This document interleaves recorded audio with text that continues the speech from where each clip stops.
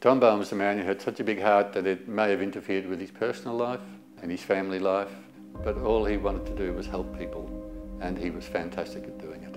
One of Australia's unique geniuses that people don't really know anything about. He had extremely good hands in terms of what we call palpation. And you'd see Dad bending over the bed, um, manipulating her airways. That was would have been one of his driving forces to create something that could help her. And the guy said later that when Tom put his hand on him, somehow his body relaxed and he was out of pain. You won't need the brace, don't wear the brace anymore. He said, I never wore it again.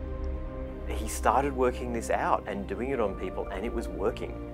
He had this overwhelming belief that the only thing that would fix him would be my grandfather's hands. Normal living I struggled with before.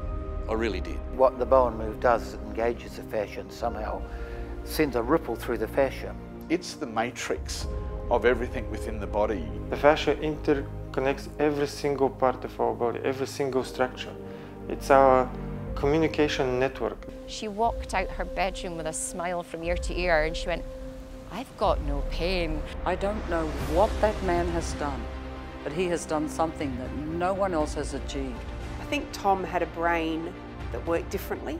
There was something special. There was definitely something special in his hands. He could feel vibrations in nerves. We were told that uh, everything was uh, lovely and light in the world as far as Tom Bowen was concerned, and my research showed that that definitely wasn't the case.